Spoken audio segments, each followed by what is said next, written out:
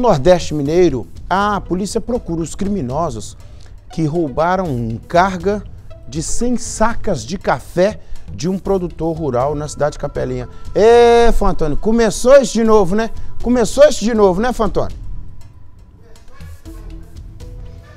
Pois é, Nicomedes, a polícia está à procura da pessoa que invadiu uma fazenda na zona rural da cidade e levou 100 sacas de café.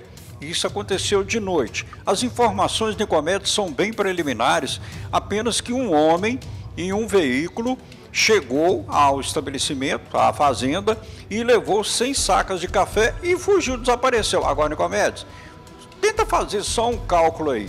O cidadão para levar 100 sacas de café em um veículo de noite e aí a polícia está à procura de informações. Então quem tiver aí na região de Capelinha, quem estiver oferecendo café baratinho aí, uma pichincha, né, que é geralmente o cidadão, ele comete um crime desse e logo em seguida ele tem que se desfazer desse material e evidentemente oferece um preço mais em conta. Então quem estiver na região de Capelinha, cuidado com oferta de sacas de café. Vale ressaltar que às vezes essas sacas são bem identificadas, às vezes o tipo de café. Então existem várias características, mas a questão é o seguinte: alguém vai ter que se desfazer dessa mercadoria.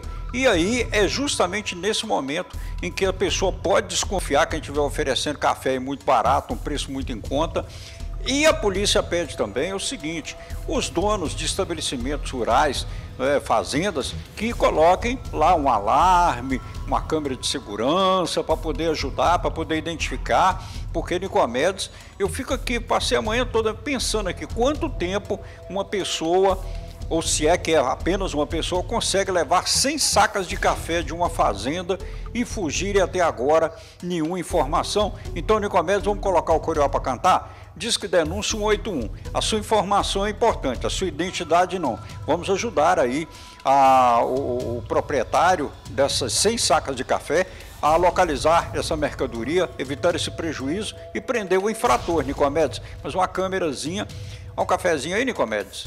Ah, eu quero esse. Esse aí não, que conversa é essa? Eu quero um cafezinho pago, né? O cafezinho pago. Você não me complica não, rapaz. É o cafezinho pago. Esse café aí eu tô fora dele. Os meninos já me disseram ali, ó.